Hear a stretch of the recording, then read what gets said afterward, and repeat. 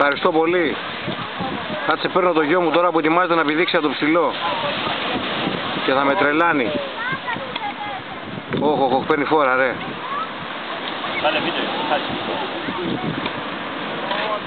Πού το σκύλο το μαύρο το σκύλο. Συγγνώμη, και γιο.